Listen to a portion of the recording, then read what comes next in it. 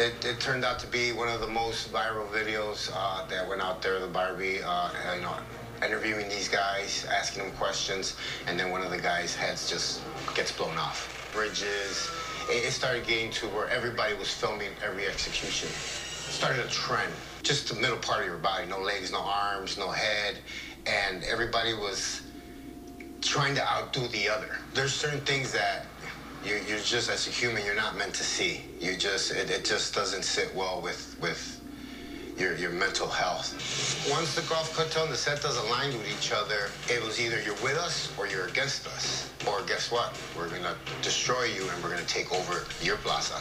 But if the Gulf Cartel and their singer, Every piece of that border is worth millions of dollars, and everybody's trying to get it. That creates greed. It creates a lot of bad stuff. I think the Barbie's secret weapon was uh, just thinking about of the amount of money he was going to make if he took that whole area over. and sons. His soldiers could not drink or be high when they were working. And he was really, really hard on them about that. And it created almost a trend with other families to carry themselves the same way. Barbie's war against the window. The military had trapped him. He left all his men fighting, and he ran out the back door.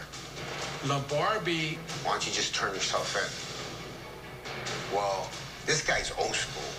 He ain't going like that.